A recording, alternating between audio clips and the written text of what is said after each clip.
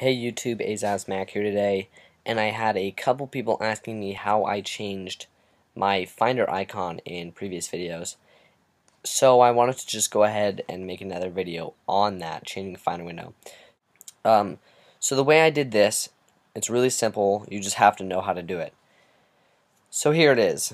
Go ahead and open your Finder window, just like this, open my Macintosh HD. Click on System, Library, scroll down, there's a folder with an X on it called Core Services. Double click on Core Services. Uh, you get this open, go ahead and find the application named Dock.app. Here it is. Do not double click on it. Go ahead and right click on it and do Show Package Contents. Click on Contents.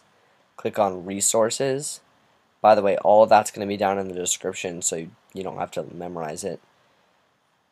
Uh, so yeah, I'll put that down in the description. And here we go. It opens this up. And this is all of the buttons that you find in your Finder window and on your dock, your dock icons. So if you scroll down, you're going to see lots of things that you've probably seen before. And then you'll come across your Finder. So here we have it.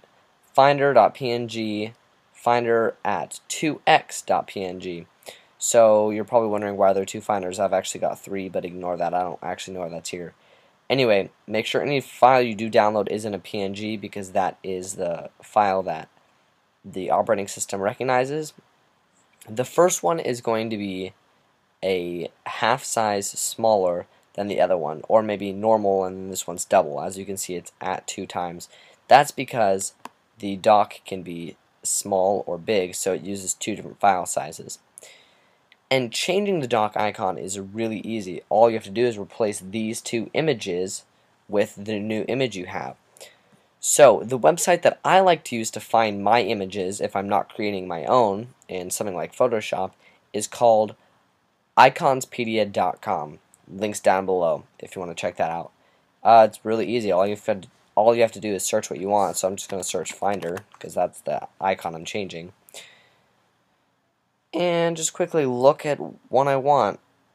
For the purpose of this video, I'm just going to go ahead and pick, how about this, this blue and gray one. I think that'll look nice. Go ahead and click on it.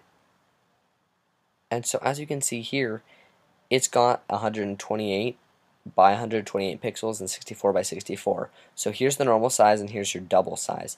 So I want to go ahead and download both of those.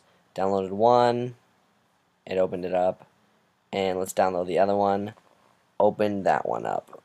Alright, so those both went into my downloads folder. I'm going to go ahead and take those out. And it even titled them neat for me so I don't get confused. Alright, let me go ahead and close these for you and uh, I I'll do this uh, whole tutorial live just so there's no confusion or confusion sorry so this is going to be Finder uh, no caps and this is going to be Finder at 2x and as you notice these are both PNGs let's make sure those are both the same yeah no caps here make it like that just for ease of use. And I'm going to go ahead and throw those right in there. You're going to have to authenticate those, and I'm going to replace those. You could I could have hit replace both. I didn't think about it. Enter in that password, and it will change. All right. So I went ahead and put those in, but this doesn't change as you see, as you can see here. And uh, at first I was like, oh, how do I get that to change? I probably have to restart my dock, and I could not figure out how to uh, restart my dock. There's a great way to do it in Terminal.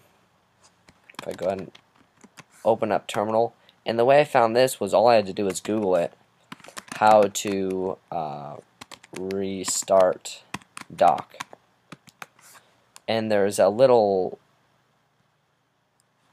well, I guess technically it is a program, and what it is is it's a kill.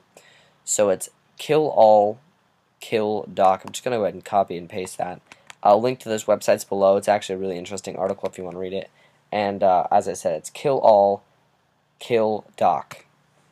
It's going to restart the dock, and there we go. My icon has been changed.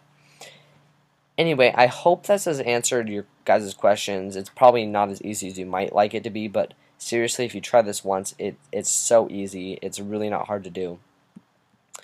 Um, in this uh, this video, I wanted to just do a little like recommendation, and my recommendation for this video is to have any of my viewers just if if they're thinking about purchasing something electronic or any media, I recommend you go to uh, and you order it on Best Buy or you buy it from Best Buy in stores. So for me, this week I'm going to be buying a DVD. I'm probably going to spend like 10 bucks on a DVD, 7.99. I don't know, but I'm just going to buy it from Best Buy. I'm not like sponsored by Best Buy or anything. I just really like Best Buy, and I like the fact that I can get instant gratification to go stuff and to go get stuff. And Best Buy is kind of losing business. So I just recommend you guys go on Best Buy, go into stores, buy an open box item. It, it doesn't even matter, just buy anything. I really appreciate you guys leaving me comments. I'm getting pretty good feedback. You guys wanted this video, so I made it for you. I hope it answered any questions, and if you have any other questions, just feel free to ask. Write them on my Facebook uh, or my uh, YouTube page.